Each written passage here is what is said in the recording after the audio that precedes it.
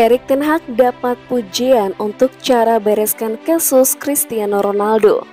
Erik Ten Hag sudah berulang kali mendapatkan pujian untuk kerja kerasnya mengembangkan squad Manchester United. Ten Hag pun bisa mengatasi masalah di luar lapangan, misalnya dalam mengontrol ruang ganti.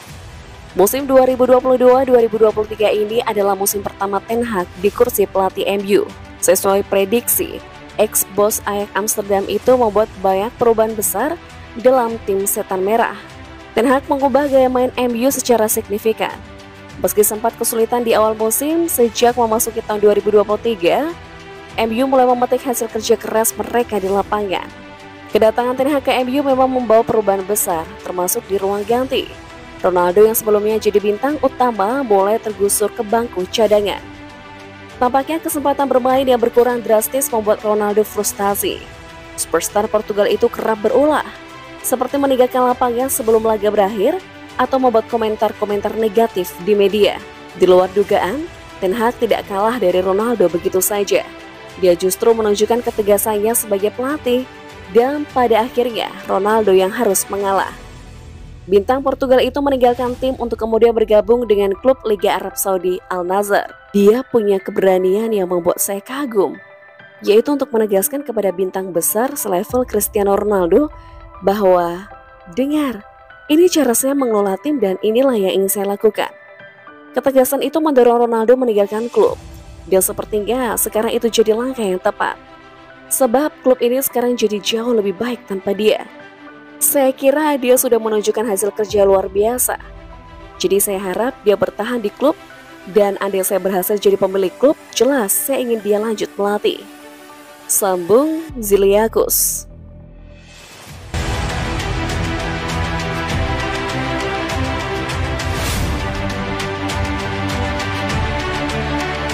Skotlandia versus Spanyol, Scott McTominay, Man of Match. Skotlandia menjamu tamunya Spanyol dalam lanjutan grup A kualifikasi Piala Eropa 2024 di Hampden Park. Dua gol Scott McTominay bantu tim nasional Skotlandia tumbangkan Spanyol 2-0. Hasil baik ini membuat Skotlandia memuncaki klasemen grup sementara dengan catatan 6 poin dari dua laga. Sedangkan Spanyol berada di peringkat 2 dengan torehan 3 poin. Demikian catatan laman resmi UEFA. Tim tuan rumah tampil menyerang sejak awal dan bisa membuat skor satu laga baru berjalan di menit ke-7. Andy Robertson mencuri bola dari pemain Spanyol sebelum mengirimkan umpan tarik ke kotak penalti. Yang diteruskan Scott McTominay menjadi gol. Skor menjadi 1-0. Keunggulan mereka di babak kedua atau pada menit ke-51 lewat skema serangan balik, umpan silam pemain Skotlandia dari sisi kiri berhasil dibuang back Spanyol. Tetapi bola rebound bisa ditendang McTominay yang gagal dihentikan kiper Kepa Arrizabalaga. Skotlandia memimpin 2-0 atas Spanyol. Pada laga ini, Scott McTominay menjadi man of the match. Ia berhasil membendung serangan-serangan Spanyol yang begitu menggila di babak pertama. Tidak hanya itu, McTominay juga mampu mencetak dua gol ke gawang Spanyol dan membantu serangan-serangan Skotlandia lainnya.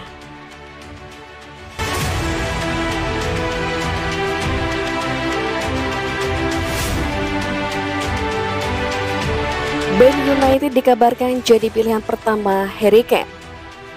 Rumor masa depan Harry Kane di Tottenham Hotspur terus dispekulasikan. Manchester United dikabarkan menjadi pilihan pertama pemain 29 tahun itu. Kontraknya dengan Spurs tinggal menyisakan durasi sampai Juni 2024.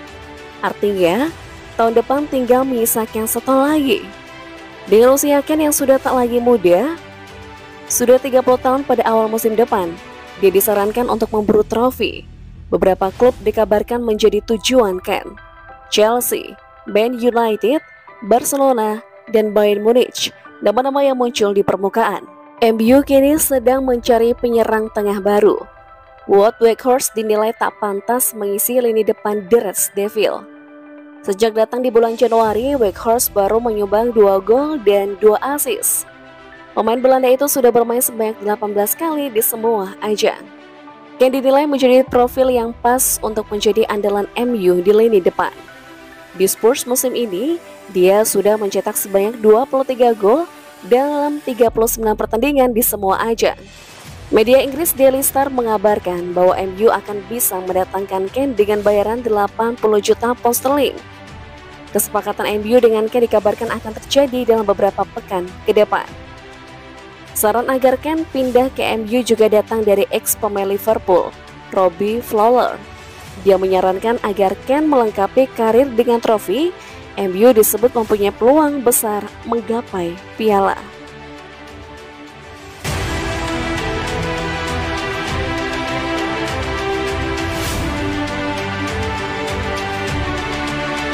Dean Henderson mantap tinggalkan Manchester United. Kiper Manchester United Dean Henderson dikabarkan sudah mantap untuk meninggalkan Old Trafford pada jendela transfer musim panas tahun ini. Saat ini Henderson tengah menjalani masa peminjaman di Nottingham Forest. Dean Henderson pada musim panas tahun lalu memutuskan untuk meninggalkan Manchester United. Hal itu dilakukannya karena Henderson kurang mendapatkan menit bermain yang cukup di skuad setan merah meski sempat dijanjikan akan menjadi kiper masa depan mereka. Untuk menyelamatkan karirnya, Henderson lantas memutuskan untuk menjalani masa peminjaman di Nottingham Forest, klub yang baru promosi ke Premier League pada musim ini. Pada paruh pertama musim ini, Henderson kerap menjadi pilihan utama The Tricky Threes. Namun pada Januari lalu, Henderson mengalami cedera yang mengharuskannya menepi selama tiga bulan. Forest sendiri lantas meminjam Kilo Navas dan Paris Saint-Germain untuk menggantikan perannya di bawah Mister Gawang. Belakangan masa depan Henderson kembali dipertanyakan. Sang penjaga gawang belum mengambil keputusan apakah akan kembali ke MU atau membeli pergi ke klub lain. Dilansir dari Football Insider, Henderson diklaim telah membulatkan hatinya untuk meninggalkan Old Trafford. Henderson menilai dirinya sudah tak memiliki masa depan di MU.